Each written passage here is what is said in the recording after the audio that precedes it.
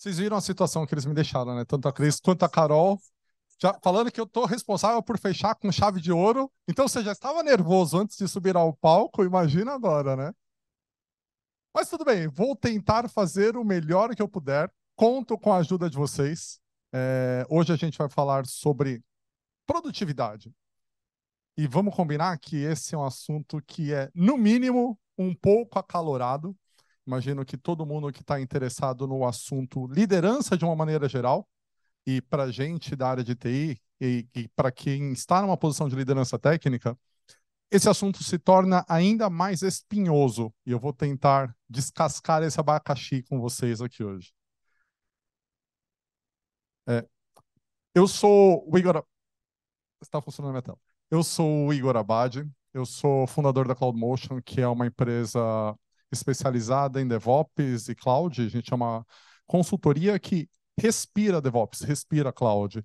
E não por acaso, a gente inevitavelmente acaba lidando muito com essa, com essa situação, com esses desafios de como a gente apoia clientes que querem falar sobre produtividade. Eu, eu não sei se alguém aqui é, trabalha com DevOps, seja usando DevOps no dia a dia ou ajudando empresas a adotar DevOps, mas eu posso contar da minha história para vocês, como alguém que está fazendo isso há pouco mais de 10 anos, que quando tem a oportunidade de conversar com um cliente sobre deixa eu entender a sua situação, deixa eu entender os seus desafios para que a gente possa montar um, um caminho, montar um roadmap para você começar essa jornada do DevOps, porque uma das primeiras coisas que a gente precisa desmistificar quando a gente fala de DevOps é que DevOps não é um software que vem no DVD que você vai lá e instala no computador do cliente que no dia seguinte está tudo funcionando. É... Antes disso, alguns de vocês já devem ter passado por uma situação parecida com essa. Existia também essa expectativa, por exemplo, com relação ao Scrum. Você chegava lá com DVD de instalação do Scrum e no dia seguinte estava todo mundo usando Scrum, estava todo mundo ágil. E com métricas de produtividade acaba acontecendo a mesma coisa. Ainda mais porque em DevOps a gente fala muito de ferramenta. E a gente fala a questão de coleta de métrica, do que os times estão e não estão fazendo, sobre a questão de automação e é quase que automático. A hora que a gente vai discutir métricas, o cliente já nos pergunta sobre produtividade. Ah, legal que vocês vão falar de métrica. Como que eu meço a produtividade dos meus times? Como que eu sei qual dos meus desenvolvedores é mais produtivo e qual é menos produtivo? E a partir daquele momento, você sabe exatamente a direção que essa conversa vai tomar e posso garantir para vocês, não é uma direção legal. É... é exatamente por isso que eu queria conversar aqui com vocês hoje sobre o Space. O Space é um framework que foi criado por um time do GitHub, a partir de um estudo que eles fizeram sobre será que a maneira pela qual nós medimos produtividade de equipes de desenvolvimento é a maneira mais inteligente? Vou dar um exemplo básico. Quem aqui, vou perguntar para o pessoal presencial, o pessoal do online aí, responde no chat também, por favor.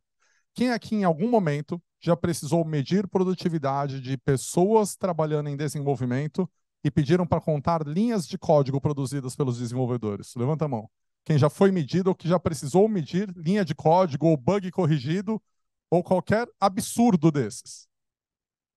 E por aí vocês já sabem a minha opinião a respeito disso, né? É, será que faz sentido a gente continuar falando desse tipo de métrica como forma de medir produtividade de desenvolvedor? A ideia do Space, a gente vai falar bastante sobre o Space aqui hoje, e aí dá para perceber que o Space é um acrônimo, é a gente repensar as dimensões que nós usamos para medir a produtividade de pessoas que trabalham com desenvolvimento. E eu queria chamar a atenção aqui de vocês para algo que me chamou muito a atenção quando eu comecei a estudar o Space. Vocês repararam na primeira dimensão? Satisfação e bem-estar. Na boa, galera, eu não sei quanto a vocês, eu já cansei de ver isso. Eu não sei por que cargas d'água isso acontece, mas parece que gestores responsáveis por área de TI. E tipicamente eu não estou falando de liderança técnica, porque muito normalmente o pessoal de liderança técnica está mais próximo dos técnicos. Mas quando a gente, a gente chega naquele nível de gestão que não é necessariamente técnico, às vezes dá a impressão de que eles esquecem que pessoas que trabalham com TI são seres humanos. E associam que só porque a gente trabalha com computador, a gente é máquina. E que a gente precisa produzir aquela quantidade X de linhas de código, não importa se está tudo bem em casa ou não. E é difícil para essas pessoas. Aqui, vou abrir o coração para vocês. Eu não sei quem foi o infeliz que teve a ideia de dizer que informática é ciência exata. De verdade. É uma das piores coisas que aconteceu para gente. Porque, para quem é leigo no assunto, fica muito difícil de entender o aspecto criativo do nosso trabalho. Se a nossa cabeça não estiver legal para produzir, esquece, você vai passar o dia inteiro sentado na tela do computador. Se tiver alguém olhando, você finge que está digitando. Se não tiver ninguém olhando, você vai abrir o YouTube, porque não vai sair nada naquele dia. Então, se a gente não pensar em coisas como, por exemplo, o nível de satisfação e nível de bem-estar da minha equipe, como é que eu posso esperar produtividade das pessoas? Percebem como muda um pouco a discussão? Então vamos lá. Para a gente falar sobre o Space e entender cada um desses aspectos, é importante a gente lembrar do seguinte. Por que, que a gente fala de produtividade? E assim, eu tô. Admito que eu estou trolando um pouco a nossa gestão não técnica, é, falando que eles cobram coisas que não faz sentido cobrar, mas eu entendo por que, que a gente fala de produtividade. Porque, querendo ou não, é, discutir produtividade no contexto de uma equipe de desenvolvimento faz sentido, desde que a gente leve em consideração os aspectos corretos. Por exemplo, uma equipe mais produtiva, e por enquanto a definição de produtiva a gente deixa de lado, tá? A gente vai falar disso já. Mas é fácil imaginar que uma equipe mais produtiva produz software com mais qualidade, certo? Dá para esperar isso de uma equipe mais produtiva em comparação com uma equipe menos produtiva? Dá para esperar que uma equipe mais produtiva produza software não apenas com mais qualidade, mas também com mais eficiência, que a gente gasta menos tempo e menos recurso para produzir esse software. E quando eu tenho uma equipe produtiva, e aí, de novo, eu estou deixando de propósito a definição de produtividade de lado, dá para a gente imaginar que eu consigo tomar decisões relacionadas ao meu planejamento de maneira mais eficiente. Porque é difícil imaginar uma equipe produtiva que não produza dados a respeito do seu modelo de trabalho, a respeito da sua produtividade, a respeito do que vem sendo feito e do que precisa ser feito. E a hora que a gente tem dados para analisar e eu tenho uma base histórica, eu tenho um planejamento futuro, fica um pouco mais fácil de a gente tomar a decisão ao invés de ah, vamos para lá. Que acontece em muito time. Quando a gente tem uma equipe mais produtiva, a gente, direta ou indiretamente, afeta o bem-estar e a qualidade de vida das pessoas que trabalham naquela equipe. Pode parecer exagerado, mas nada destrói mais o moral do, do, de uma equipe do que aquela, aquela sensação de que a gente não sai do lugar. E a gente está patinando o tempo todo no mesmo lugar. Então, percebe um ponto bem sutil aqui? Que quando a gente discute produtividade, inclusive melhoria de produtividade, eu não estou resolvendo só o problema da chefia, por assim dizer. Estou resolvendo o problema da minha equipe. Porque se a equipe se sente mais produtiva, ela se sente mais realizada com o que ela está fazendo. O clima todo dentro da equipe melhora. A gente facilita a colaboração entre as pessoas da equipe e a gente suporta a equipe para poder mudar para um modelo de trabalho 100% remoto. Verdade seja dita, já faz alguns anos que a gente está nessa situação de pandemia, não pandemia, graças a Deus as coisas melhoraram bastante. Podemos estar aqui juntos hoje. Há alguns anos a gente não podia nem pensar nessa possibilidade. Mas se tem uma coisa que veio para ficar, é o trabalho remoto na nossa área. Por mais que as empresas estejam pedindo para as pessoas voltarem, esse é um caminho sem volta. A gente vai estar tá no modelo híbrido para alguns, tem algumas empresas que vão forçar o presencial e vão perder muitos profissionais bons, tem as empresas que entenderam que o remoto é o modelo certo, mas o fato é que ninguém estava preparado para isso. E se a gente não está preparado para medir produtividade de pessoas que estão sentadas do nosso lado no dia a dia, quem dirá pessoas que eu muitas vezes posso não ver e que eu não estou acompanhando o trabalho. E sabe aquela neura de gestor de eu preciso ver a pessoa batendo no teclado, eu preciso ver as linhas sendo preenchidas, senão eu tenho a sensação de que a pessoa não está trabalhando? Aquelas coisas absurdas de eu vou contar quanto tempo a pessoa gastou no banheiro.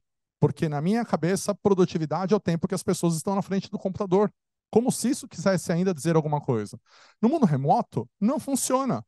Ainda que a gente tenha ouvido histórias bastante bizarras de empresas que tentaram fazer soluções de monitoramento. Tem grandes consultorias, que a gente não precisa mencionar o nome aqui, que tentaram vender soluções de espionagem, porque eu não tenho outra palavra para isso. para medir o que os profissionais estavam fazendo nas suas casas para ver se eles estavam trabalhando ou não. Enfim. É...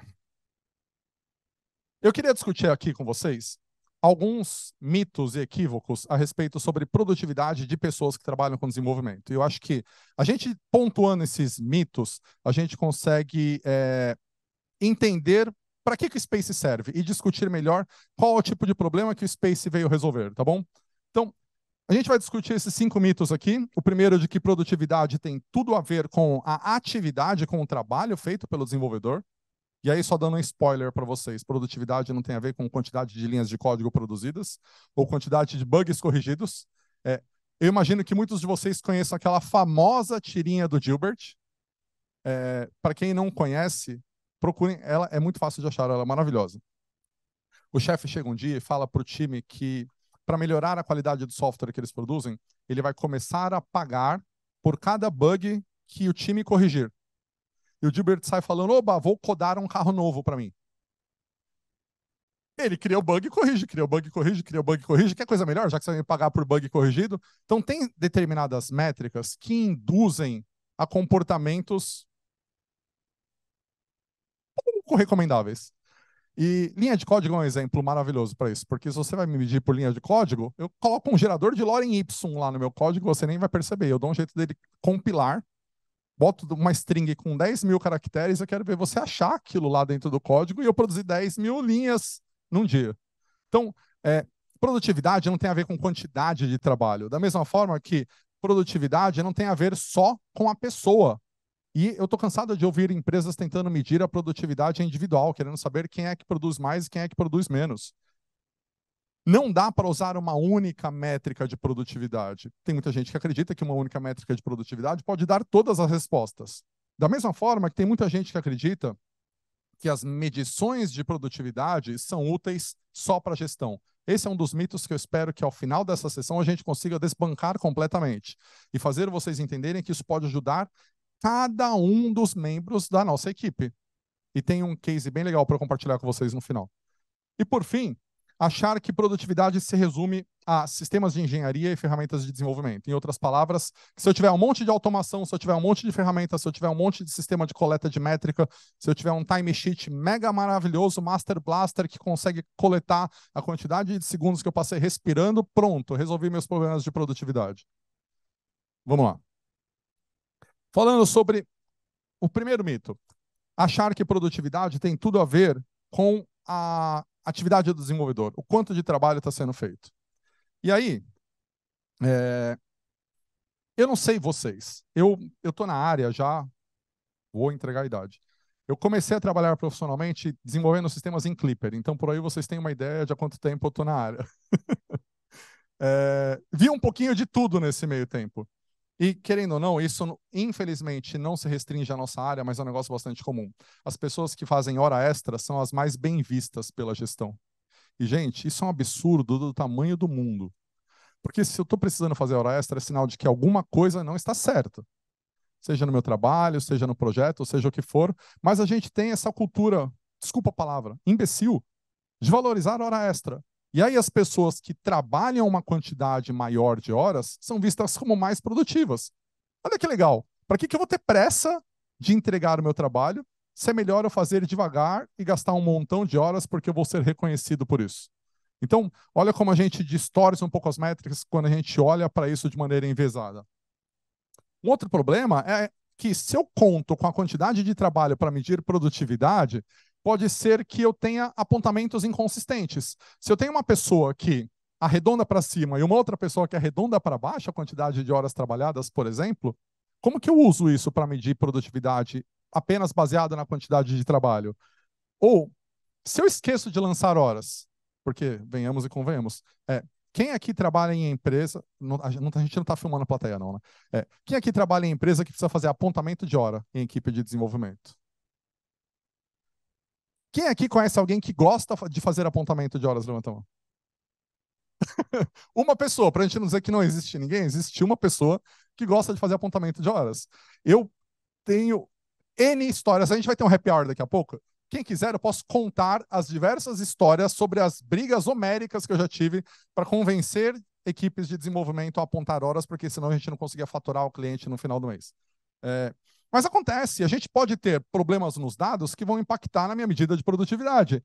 E tudo isso depende da qualidade dos nossos sistemas e das nossas ferramentas de suporte para medir a quantidade de trabalho que está sendo feito.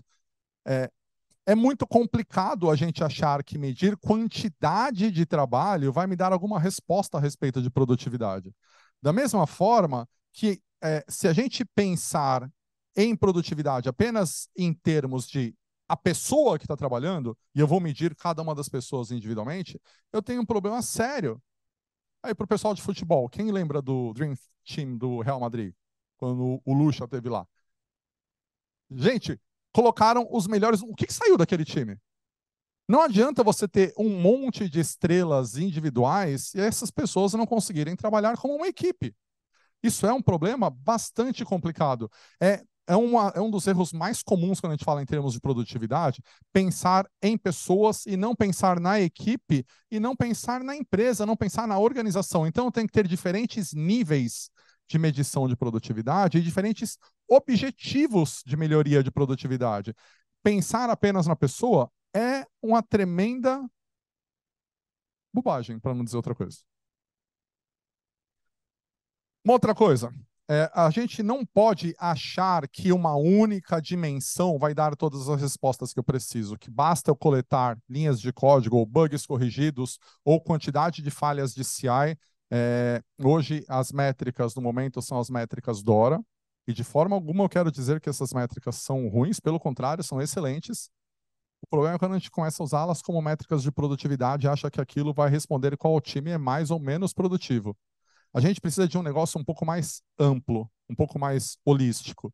E aí a ideia é que a gente pense em dimensões que avaliem a satisfação e o bem-estar das pessoas, o desempenho, sim, porque eu preciso ver é, como está o desempenho das pessoas, das equipes e da empresa. Eu preciso é, avaliar aspectos de comunicação, preciso avaliar aspectos de atividade, sim, porque, para deixar claro, é, a gente não está demonizando o controle de atividades, a quantidade de trabalho feito. É que ela, por si só, não diz nada. E aí, um dos grandes baratos quando a gente pensa em produtividade é pensar de uma maneira mais ampla e combinar várias dimensões. E a questão de fluxo. Quem aqui usa Kanban na empresa hoje? Levanta a mão. Uma das coisas mais fundamentais quando a gente fala de Kanban é o fluxo. É o flow, é a gente garantir que as coisas andem de maneira consistente e que o trabalho flua sem ficar parando nos nossos centros de trabalho, porque eu não quero ficar criando estoque, certo? Então, o que, que adianta a gente pensar em produtividade e otimizar uma equipe ou uma parte da minha equipe, e a hora que eu passo para a equipe seguinte, o meu negócio para. Um exemplo típico: eu invisto na minha equipe de desenvolvimento, deixo a minha equipe de desenvolvimento mega produtiva, e largo a minha galera de QA sofrendo lá na base de planilha de Excel e print no Word. Que problema que eu resolvi com isso? Então, é, a gente, inclusive, quando fala de DevOps, fala do problema da otimização local que causa a degradação global. Eu não posso otimizar um pedaço do meu fluxo e degradar todo o resto. Se eu começar a, a fazer o meu time de desenvolvimento trabalhar muito rápido e não ajudar a minha equipe de QA, todas aquelas entregas, aqueles builds de CI e CD maravilhosos que o time se orgulha tanto de ter feito, não servem para nada. Porque eu vou criar uma fila de 30, 40 releases lá que meu time de QA não dá conta de testar. O que é que isso resolveu de problema para mim? Absolutamente nada. Na verdade, isso criou mais problemas, porque eu já não sei mais o que, que eu estou testando e se aquele teste que eu fiz há duas semanas atrás serviu de alguma coisa ou não. A sensação é que estou sempre jogando meu trabalho fora. Um outro mito é: achar que medição de produtividade serve só para gestores. Eu vou compartilhar um case com vocês no final da nossa sessão hoje, falando sobre um estudo que o GitHub fez a respeito de como usar essas métricas de produtividade para que o próprio indivíduo melhore. E é muito legal quando a gente pensa nisso, do tipo, eu não quero usar a produtividade para no final do mês eu pagar seu bônus ou eu te mandar embora. Eu quero usar a produtividade como forma de você, como indivíduo, ter instrumento para melhorar e você se autoavaliar e perceber, puxa, aqui não está legal, aqui está bacana, isso daqui me impacta, isso aqui não me impacta, vou mudar isso na minha rotina para que eu me torne um melhor profissional. A gente como lideranças, e falando para as pessoas que estão aqui nessa sala, que estão interessadas no assunto liderança técnica, nós precisamos, de uma vez por todas, parar de tratar pessoas que trabalham com desenvolvimento como crianças. Não dá para a gente esperar um comportamento adulto e responsável de uma pessoa que é tratada como um irresponsável, como uma criança. A gente está o tempo todo vigiando essas pessoas e controlando aquelas pessoas como se elas não conseguissem pensar por conta própria, sem dar um pingo de autonomia para essas pessoas. Como que você espera que elas vistam a camisa, esse termo que todo mundo adora usar? Não, tem que vestir a camisa da empresa. Você não confia nas pessoas para isso. A gente tem que mudar essa relação com as pessoas da equipe. A gente tem que passar a tratar as pessoas como adultos. E tratar as pessoas como adultos significa, inclusive, acreditar que essas pessoas querem melhorar. E que elas não estão lá na empresa para ficar dando balão na gente, para ficar enrolando a gente o tempo todo. Vamos falar um pouco mais sobre isso. Por fim, produtividade não se resume a sistemas de engenharia e a ferramentas de desenvolvedores. Isso significa que quando a gente fala de produtividade, a gente tem que pensar no ambiente onde essas pessoas estão inseridas e no impacto que esse ambiente pode causar na produtividade. A gente tem que pensar num modelo de mentoria para amparar essas pessoas e dar mecanismos para que essas pessoas possam crescer e aprender com a experiência dos outros. A gente precisa é, entender o impacto que o moral da empresa causa na produtividade e vice-versa. Ter a cultura dentro do espaço de trabalho, qual é a cultura que a gente está trazendo para os nossos desenvolvedores e qual é a cultura que a gente está construindo dentro da empresa e como que a gente transmite essa cultura para as pessoas que estão entrando, por exemplo. Tudo isso impacta em produtividade. E parece absurdo a gente ter que falar isso, mas o conhecimento dos desenvolvedores também impacta na nossa produtividade. O quanto a gente está apoiando os nossos desenvolvedores, a nossa equipe, a se manter evoluído, a se manter atualizado, a se manter up to date com aquilo que ele precisa para desenvolver o trabalho dele? Será que a gente está apoiando as nossas equipes para isso? Ou a gente se colocou naquela posição confortável de é interesse dele estudar, é interesse dela estudar? Eu preciso que essas pessoas se virem nos 30 e venham para cá e façam o trabalho delas, que elas são pagas para isso. Ah, vou dizer para vocês que a gente está brincando de me engana que eu gosto. Com isso tudo, vamos falar do Space. Eu acho que eu já criei expectativa bastante em vocês para a gente falar do que interessa, que é o Framework Space, que é esse estudo que foi desenvolvido pela, pelo GitHub para mensurar, mensurar produtividade baseado nestas cinco dimensões que a gente vai discutir agora. A primeira delas é satisfação e bem-estar, que é basicamente a gente avaliar o quanto os nossos desenvolvedores estão satisfeitos com o trabalho que eles estão fazendo e quão saudáveis e felizes as pessoas são e estão, inclusive no ambiente de casa delas, tá? Porque, de novo, somos pessoas. A gente não consegue entrar na empresa e largar o nosso eu pessoal para fora e fazer de conta que a gente é só um profissional e esquecer os problemas que tem em casa. Não tem como.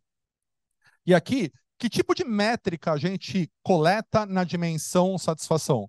Coisas como satisfação do funcionário, por exemplo, para quem conhece a métrica de NPS, vocês sabiam que tem NPS para empregada, para funcionário e NPS? Já pensaram em fazer um NPS de Net Promoter Score para dentro de casa, para ver como que as pessoas que trabalham nas suas equipes avaliam trabalhar lá? E se elas recomendariam a sua equipe para outras pessoas? Ou será que você tem medo de fazer essa pergunta? Mas pensa a respeito. Será que as pessoas que trabalham com você hoje, elas recomendariam para outras pessoas da empresa vir para sua equipe? É importante você saber isso.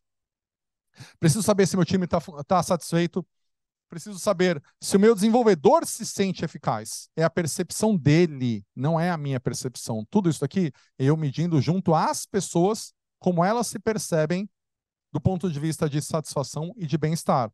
O quanto as pessoas estão engajadas com aquilo que elas fazem e o nível de burnout delas. Isso aqui, exemplo de métricas mesmo, pessoal. Coisa que a gente lança num scorecard para fazer acompanhamento dia a dia, semana a semana, mês a mês, e ver como esses indicadores estão flutuando ao longo do tempo e o que, que eu preciso fazer para trabalhar nesse tipo de coisa.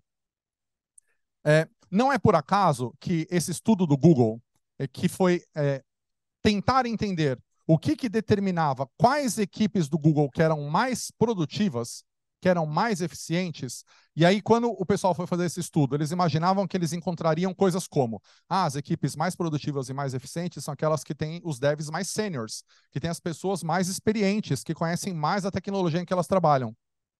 Repara esses cinco indicadores aqui, pessoal. Nenhum deles é técnico. Isso daqui é o que causa mais impacto na produtividade e na eficácia de uma equipe de desenvolvimento.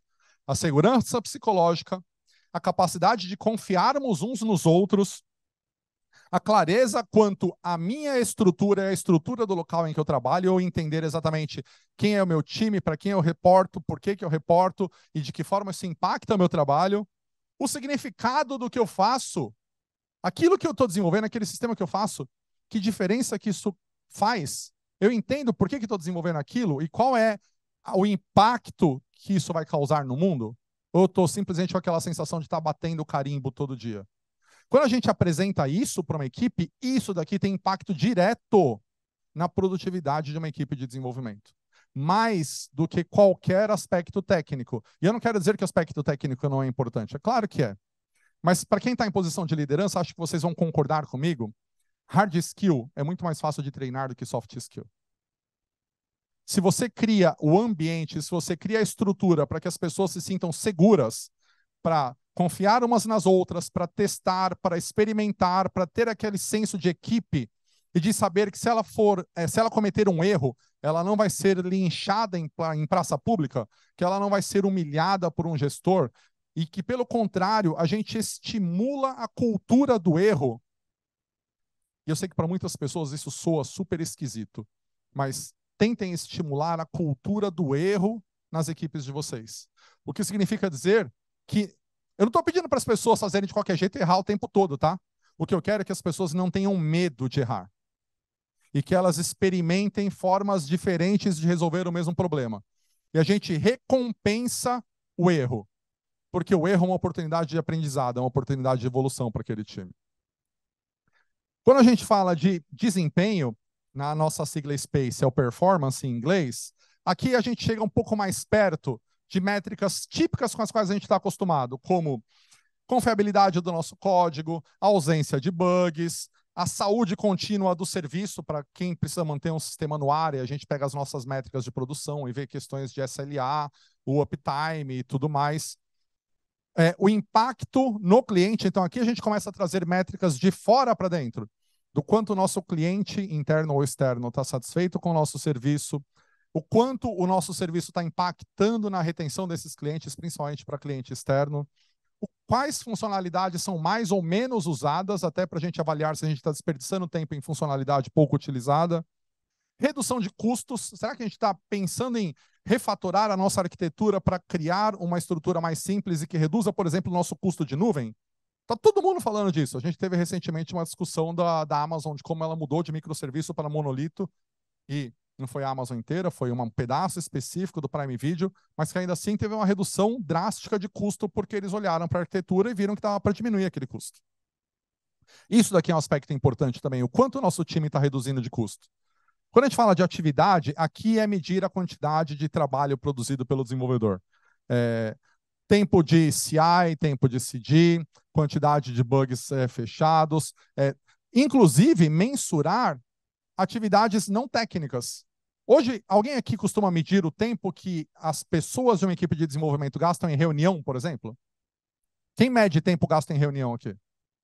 Gente, isso é um buraco negro de dinheiro porque a gente esquece de contar o custo de uma reunião. E vai chamando reunião o dia inteiro e ninguém trabalha porque está em reunião o tempo todo. Então, uma das coisas que eu preciso mensurar é o tempo que eu gasto em outras atividades, atividades que não estão ligadas à minha atividade fim. Falando sobre comunicação e colaboração. Isso aqui é um outro aspecto fundamental, é que raramente a gente mede, que é nível de facilidade de achar documentação, é, nível, velocidade de integração do meu trabalho, quão fácil é para uma equipe de várias pessoas integrar o trabalho, ou se eu tenho que passar por um monte de processo e meu pull request fica duas semanas aberto lá, porque ninguém tem tempo de parar para revisar meu pull request. É, a qualidade das revisões, e aí, inclusive, dar nota para o meu processo de pull request, avaliar, é, tanto do ponto de vista do revisor quanto da pessoa que foi revisada, a experiência do pull request, até para a gente poder melhorar esse processo de pull request. E por fim, Eficiência e fluxo. A gente estava falando do exemplo do Kanban, do quanto é importante a gente mensurar o fluxo para que o trabalho não se perca no meio do caminho.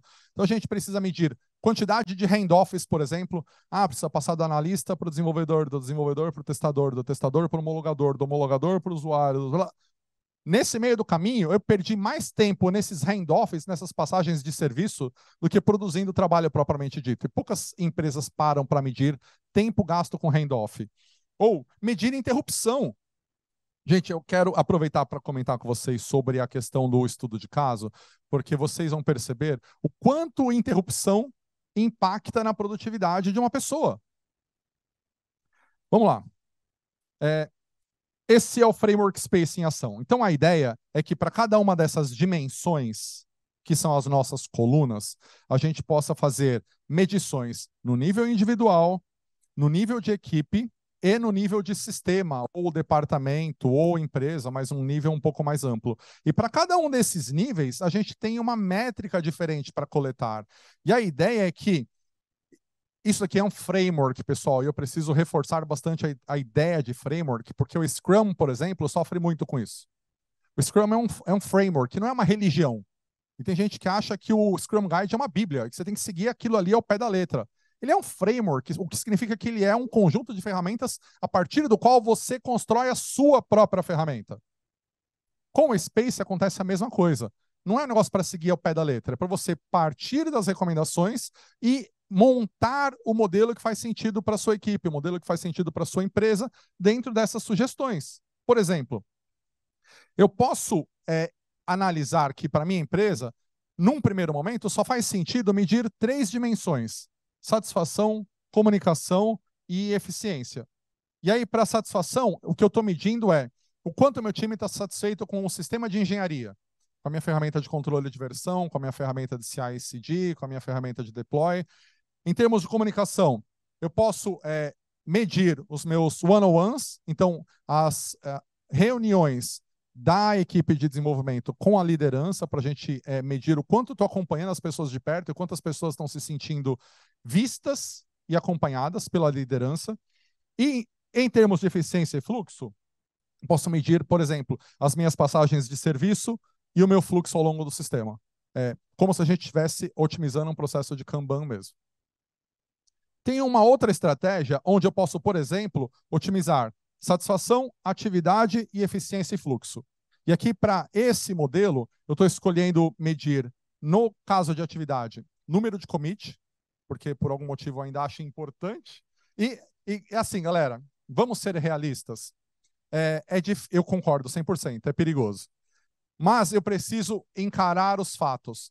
Nem toda empresa está pronta para uma transformação radical. E muitas vezes a gente tem que jogar um jogo de tomar lá da cá para a gente conseguir fazer uma transformação.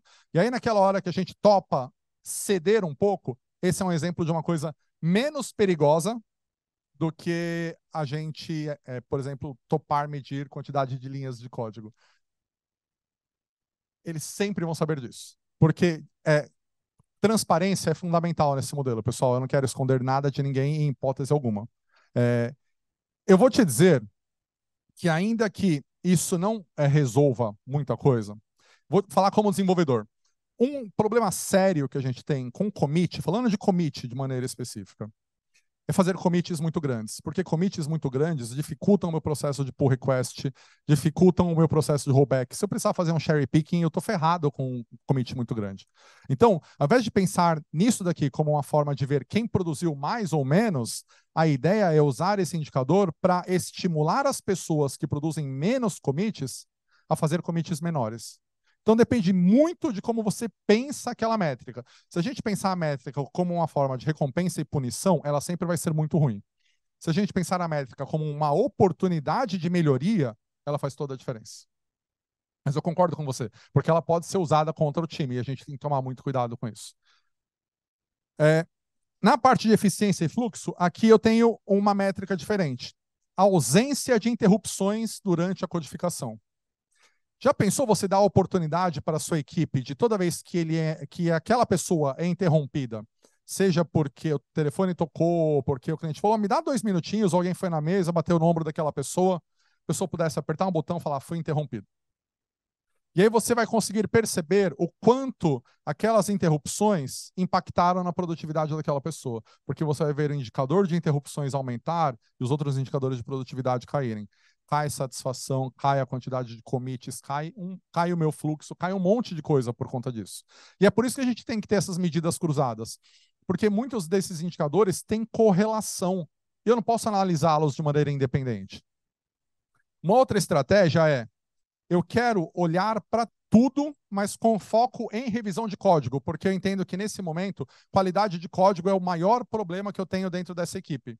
Então, eu vou olhar para as minhas cinco dimensões, só que para cada uma delas, eu vou ter uma métrica muito específica ligada a código. Satisfação com as revisões de código, quanto meu time está satisfeito com a experiência de revisão de código daquela equipe a velocidade do meu processo de revisão de código, ou de pull request, nesse caso, o número de revisões de código, a qualidade das avaliações e o tempo das minhas revisões de código. Então, olha como o framework ele é super flexível. De novo, é um framework, não é uma metodologia, não é uma bíblia, não é um negócio para ser seguido ao pé da letra, é parte da ideia de que você tem essas cinco dimensões e que é importante você olhar para o seu processo de maneira mais holística e para o momento em que a sua equipe está, para a realidade da sua empresa, adapta o space para ele atender às suas necessidades. E aí, é, resumindo isso que eu estava comentando com vocês sobre como usar as, as métricas do space, a recomendação é que vocês sempre escolham pelo menos três dimensões, como nos exemplos que eu dei para vocês. Os primeiros dois exemplos usavam três dimensões, esse último exemplo eram cinco dimensões. É, sempre considera a realidade da sua empresa. Não adianta ignorar a realidade da empresa, a gente querer fazer estado da arte logo de cara. A gente vai dar com os burros na água. É importante levar a nossa realidade em consideração avalia as métricas que você vai usar, avalia múltiplas métricas. Então, não, não, não para na primeira métrica, considera várias métricas. Eu mostrei o mapa para vocês, essa apresentação vai estar compartilhada depois, vocês conseguem olhar naquele mapa vários exemplos de métricas para cada uma dessas dimensões, métricas sadias, que vale a pena trazer para o dia a dia da equipe de vocês. E é importante, pessoal, lembrar que a métrica sinaliza o que a empresa valoriza. Sempre. A, métrica sempre serve para isso. E é por isso que a gente tem tanta métrica de vaidade. Porque a métrica, ela representa aquilo que a empresa entende como mais valioso. Então, se a gente é, quer criar uma nova cultura, eu preciso também variar as minhas métricas para a gente ampliar essa sensação de valor e começar a transformar um pouquinho a percepção para que a gente não fique preso às métricas de vaidade. Cuidado, pessoal. É importante a gente tomar cuidado com o tipo e com o volume das métricas. Tipo, não cria isso daqui para ter um dashboard bonito para mostrar para o seu diretor. É uma das primeiras armadilhas quando a gente fala de métrica, é métrica por métrica, só para a gente ter um dashboard bonitão. Não vai rolar. Isso é um grande problema. Tente evitar ao máximo. Privacidade do desenvolvedor. Informações anonimizadas sempre. Mesmo quando eu faço medição de produtividade individual, Ninguém, além da própria pessoa, pode saber que aqueles indicadores pertencem a ele. Isso é muito sério e a gente não está. Não vou nem falar de LGPD, porque já seria um problema por si só. Mas para você evitar problemas de moral, de você desmotivar as pessoas, trate as métricas de maneira anônima. E lembra dos vieses. A gente sempre tem a tendência de trazer os nossos vieses para como a gente analisa essas métricas. Cuidado na hora de trazer o seu ponto de vista para você não enviesar as métricas. E aí, deixa eu contar para vocês uma forma de a gente usar tudo isso para criar impacto na nossa equipe de desenvolvimento. Esse é o case que eu queria trazer para vocês. Então, é, o GitHub, quando é, criou, documentou esse framework Space, fez um piloto, um estudo de caso interno, que é o projeto Good Day, o projeto Bom Dia, ou Dia Bom, na verdade. Qual era a ideia do projeto Dia Bom? Ele é tão simples quanto eu vou perguntar para as pessoas que trabalham na minha equipe de desenvolvimento se elas tiveram um dia bom ou não. Tão simples quanto isso. É claro que a implementação é um pouco mais complexa, mas a ideia é: eu quero perguntar para a pessoa e eu quero que ela me diga se hoje ela teve um dia bom ou não. E eu vou mostrar para ela que, dependendo da resposta que ela me deu, ela vai perceber o impacto que isso traz nos indicadores de produtividade dela. Então, a ideia aqui é que a gente, todo dia, pergunta para o desenvolvedor, tem uma lista de 10 perguntas, se não me falha a memória. Essas informações são todas públicas, eu compartilho o link com vocês depois. Mas o que eles fizeram foi, todo dia, final do dia, um questionário de 9 ou 10 questões para responder muito rápido, era no máximo dois minutos. E a pessoa respondia se ela estava feliz ou não, e numa escala de 1 a 5, se ela tinha sido muito interrompida, se ela estava se sentindo mais ou menos produtiva em relação ao dia anterior. Então, várias per perguntas bem qualitativas e bem individuais. E o legal é que nesse estudo do GitHub, o que, que qual foi a grande sacada? Primeiro, eles usaram o Space para definir as perguntas que iam ser feitas, então as perguntas elas estavam ligadas às cinco dimensões do Space. E segundo, eles correlacionaram as respostas que cada pessoa dava aos indicadores técnicos que eles extraíam da ferramenta. Então eles iam lá e buscavam automaticamente a quantidade de commits que a pessoa fez naquele dia, a quantidade de pull requests que ela avaliou, a quantidade de issues que ela abriu ou que ela fechou. Então eu tirava um monte de métrica técnica e diariamente a pessoa recebia um relatório e só a pessoa via aquele relatório. E eu mostrava para ela, olha, nos dias em que você disse que estava mais satisfeito, você conseguiu fazer 15 commits, você fechou 20 pull requests e 30 issues. No dia que você disse que você estava com um problema em casa, a sua quantidade de commits caiu pela metade. No dia que você disse que você tinha poucas interrupções, você conseguia aprovar um monte de pull request, você falou para mim que estava super contente com o processo de pull request. No dia que você falou que você tinha mais de seis reuniões, você não conseguiu fechar nenhum pull request. E aí a pessoa ela tem a oportunidade, e esse é o grande pulo do gato. Lembra que nós não somos máquinas, nós somos pessoas. E a gente precisa parar para refletir sobre a gente. É, é, muito fácil de entrar no piloto automático. Como técnicos, como pessoas da área de TI, a gente cai muito nessa armadilha. De meu negócio aqui é produzir código, vamos produzir código, eu vou, vou lá para o Stack Overflow, agora tem Copilot para produzir código, eu foco no código e eu esqueço de olhar para dentro das coisas que me afetam e das coisas que afetam o código que eu produzo. Um do, dos resultados mais interessantes desse estudo é que as pessoas disseram o quanto o fato de elas precisarem parar para responder aquela pesquisa de dois minutos fez diferença na vida delas. Mais do que as respostas em si, mas o fato dela parar e refletir para poder responder.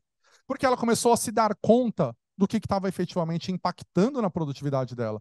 A gente tirou as pessoas do automático, as pessoas pararam a passaram a lembrar que elas existem, que elas precisam se autoconhecer.